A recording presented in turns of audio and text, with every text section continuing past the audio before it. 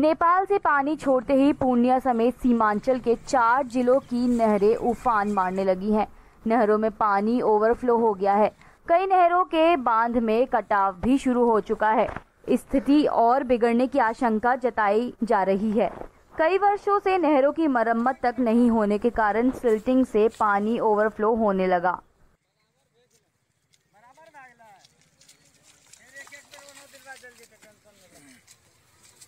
हाँ एक एक बेर पड़ जेतै